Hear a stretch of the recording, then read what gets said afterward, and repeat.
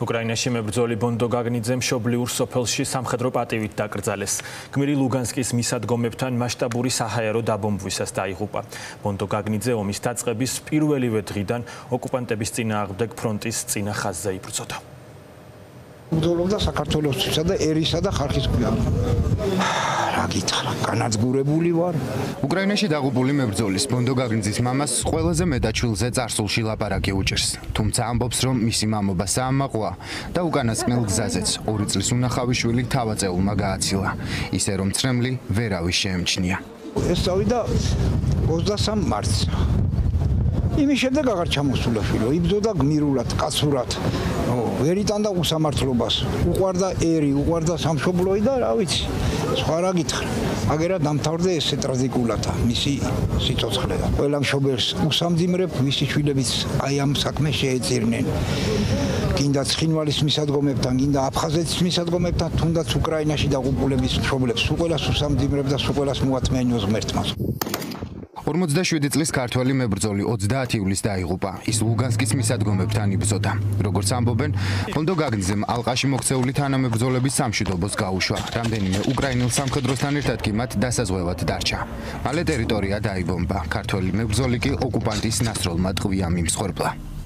ბონდო ჩემთვის ეტალონი იყო მებრძოლობის, მებრძოლის აცობის აი თავისი აი სიკეთით გულწრფელობით კეთილი კეთილ განსახიერების ეტალონი იყო და ძალიან ძნელია ჩემთვის რამე ვთქვა.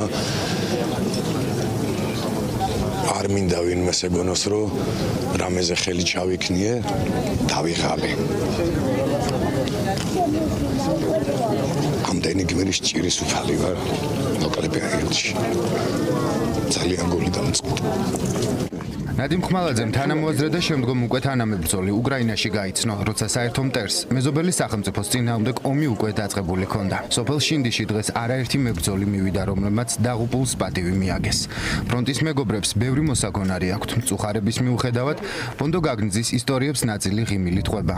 ვიდრე რეალობას დაუბრუნდებიან და წარსულ ფორმაში გაიხსენებენ თანამებრძოლსა და მეგობარს. ბონდო გაგნიძე იყო ადამიანი, რომელსაც რომელსაც სიგიჟემდე უყვარდა. თავის თავის თავის თავის ქვეყანა ჯეროდა საქართველოს თავისუფლების და მხოლოდ ეს ამ მოტივით იყო ჩამოსული უკრაინაში რომ საერთო მტერი ყავს და უნდა დავამარცხოთ. მეგობარი იყო ჩემი ომში გაცნობილი მეგობარი იყო და გამიმართლა რომ რაღაც პერიოდი ერთადაც მოგვიწია ყოფნა ერთად ცხოვრებას.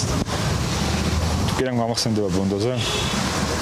სამშობლო სიყვარული და რწმენა იმისა რომ ეს ომი სიკეთის გამარჯვებით უნდა დასრულდეს რა ამას ემსახურებოდა მთელი ცხოვრება და ძალიან გული მწყდება რომ მის გარეშე მოგვიწევს ამ მიზნის შესრულება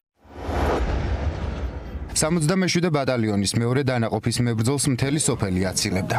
დღეს შინდიში ყველა ქუჩაზე საქართველოს დროშა იყო აღმართული. განსაკუთრებით მძიმე დღე იყო მათთვის, ვინც მებრძოლთან ერთად გაიზარდა. კამერასთან ლაბარაკობენ მხოლოდ იმიტომ, რომ ბავშვობის მეგობრის ისტორია ბევრმა გაიგოს და ვინც არიცის მიხვდეს.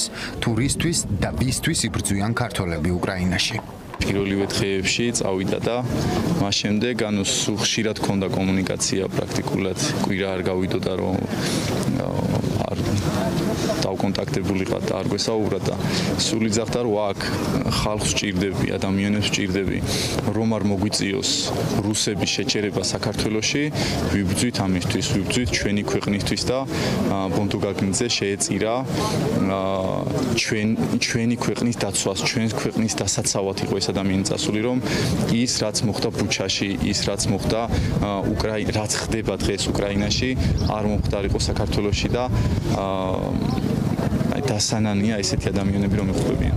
უყარდა ქვეყანა და არ დაიცვალა ქვეყნის გულისთვის. სულ ქვეყნის პატრიოტი კაცი, კარგი კაცი, წესიერი კაცი და აი ციცხოვრა ვაშკაცურად და წავიდა ვაშკაცურად.